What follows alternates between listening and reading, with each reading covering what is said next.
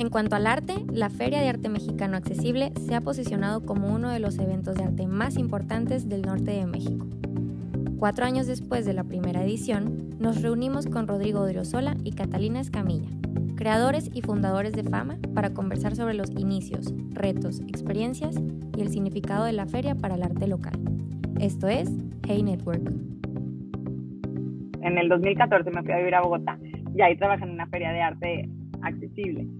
Entonces ya, o sea, como que ahí me conecté bastante. O sea, yo hablaba mucho con Rodrigo, mi socio en ese, en ese momento. O sea, él me platicaba mucho de Monterrey y él estaba como comprando mucho arte y así. Entonces como que él me mandaba, mira, me compré esta pieza hoy y mira, fui al estudio de este artista y yo, yo también le contaba de Bogotá, de que, oye, mira, wow, este artista es espectacular, oye, mira, esta feria está increíble. Y pues platicamos, oye, claro que Monterrey como que teniendo tanto, o sea, tanta, pues, o sea, tiene buenas escuelas, tiene buenos artistas, tiene excelentes galerías, o sea, que, que no hay una feria. Aunque tenemos las creadoras de las ferias más importantes de, de México, como la zona Maco y la Feria Material. Tenemos una super, una comunidad de artistas creciente, tenemos un gran museo de arte contemporáneo, tenemos mucho coleccionista, pues eh, grandes, ¿no? Este, tenemos mucho, pues hay mucho presupuesto, ¿no? Pues fue como a partir de eso, hay que, hay que aportarle a la ciudad una, una feria de arte contemporáneo. Nos avisan que pues oye, nos regresamos a Monterrey, entonces ahí Rodrigo y yo dijimos, no, pues ya, o sea, hay que, hay que armar nuestra feria y platicamos con nuestros socios eh, Lalo y Rulo. Ahí es cuando decidimos fundar Fama en el 2018 y la verdad fue un volado. O sea, yo siempre tuve fe en el proyecto, pero sí fue que bueno, que let's do it. Creo que uno de los principales retos es en, los primeros, en el primer año era convencer a la gente que, que era un proyecto serio. Eh, el mercado de Monterrey no es sencillo y, y, tampoco el apoyo al arte en esta ciudad es muy vasto. Entonces tienes como que realmente picar piedra y tocar muchas puertas para ver quién te escucha y quién tiene la disposición de hacerlo y quién tiene como eh, también la, la, facilidad de apoyarte, ¿no? Los artistas de Monterrey, como no hay una escena este, así muy activa, pues se van a la Ciudad de México.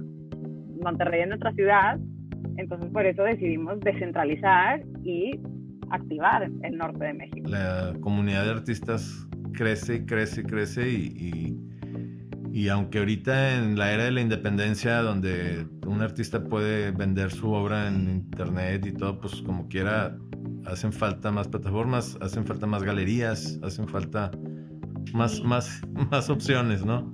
Me acuerdo muy, muy bien cuando cuando por primera vez escuché el nombre, de que pues estaba pensando que se llame Fama y para mí me pareció genial este, el nombre. Y ya, pues la verdad es que sí he estado como muy cerca del proyecto. Tengo una cuenta con este de, de promoción de, de, eventos de arte contemporáneo en la ciudad que se llama Still Life Monterrey y hemos colaborado con Fama para este, entrevistar a los artistas y como traer los, este, ¿cómo se llama? Promover la, el evento. Me entré Fama porque muchos amigos míos participaron en la primera edición y les pregunté cómo les había ido, cómo había funcionado y me interesó mucho como pensar en esta nueva dinámica que operaba ya no en las como ferias muy tradicionales que ya pasaban en México, ¿no? Entonces vi que fue pues, muy exitosa la primera edición y varios amigos me dijeron muy buenas opiniones eh, y ya, y apliqué desde la segunda.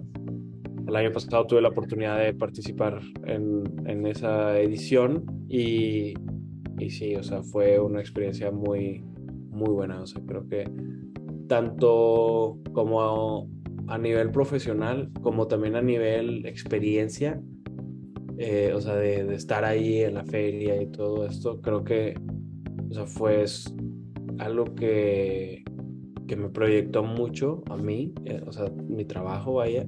Igual hablando más específico en este año, creo que como que la feria ha ido evolucionando un poco, pero a la vez siempre ha tenido como un, un concepto muy claro que es el de crear comunidad. Pues tratamos de explotarlo ahora en el branding, ¿no? Entonces empezamos a jugar con las ilustraciones que hacen como referencia a esta comunidad y hacen una referencia que hay gente de todo tipo, ¿no? O sea, eh, niños, adultos mayores, artistas, gente que no tiene idea de arte y que todos pueden convivir en un mismo espacio, ¿no? Entonces, el goal al final de, de Fama, o sea, crecer esta comunidad de arte, ya sea de gente que se involucre en y conocer nuevos talentos. También siento que en, ya en el, en, el evento en sí se hace un ambiente súper padre de, con la gente que va y visita y con la que platicas.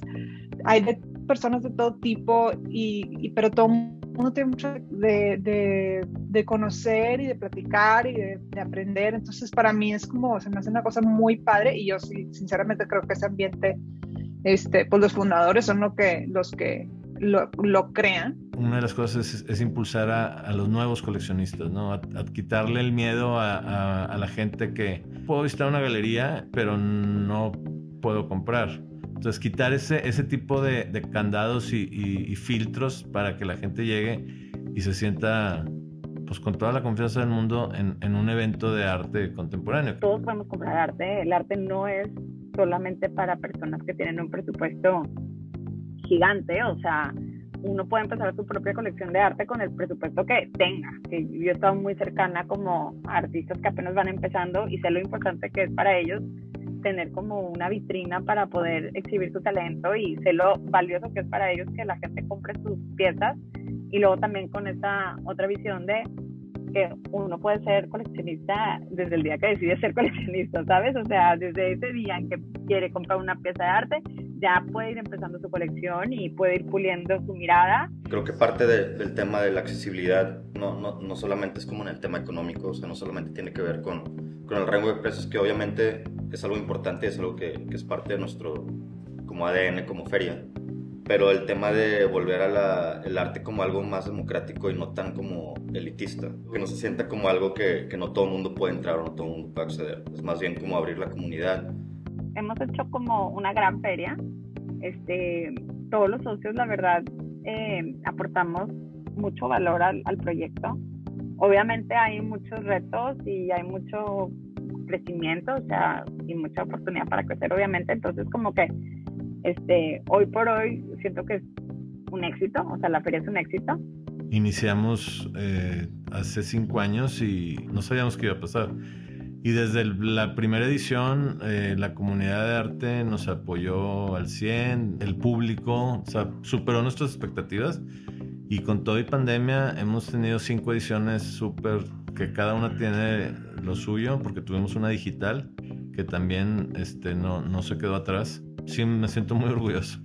Entonces, cuando alguien está haciendo las cosas bien, con, con profesionalismo y todo, como que se nota y se contagia. Entonces incluso los mismos artistas, oye, pues voy a participar en fama, déjame hago las cosas bien, ¿no? un año después todavía sigo haciendo piezas de las que, o sea, de esa serie, digamos, que presenté ahí, gente que todavía sigue este, buscándome por de que es que una vez vi que hiciste unas piezas así, yo sí, pues las hice en fama, o sea. Para mí, personalmente, fue como una plataforma que me ayudó mucho y creo que, o sea, creo mucho en el proyecto de Fama, ¿no? Y en, cómo ayuda a, los artistas emergentes y cómo lo están haciendo. Entonces, más bien aplaudo mucho como que se hace esa labor de dar más difusión. Y... y en el arte creo que se necesita escuchar las voces de las personas que vienen de, de todos lados, de, de, cualquier ciudad, de cualquier pueblo. Y creo que es importante que en Monterrey tengamos nuestros artistas y nuestras voces que, que, que estén hablando por la experiencia que es ser regiomontano.